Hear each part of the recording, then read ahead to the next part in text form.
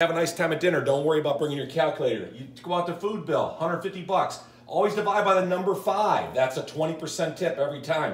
150 divided by five is 30 bucks. Basically, that's 150 times 0.20 is 30 bucks. Anytime, divide by five, you got your 20% tip.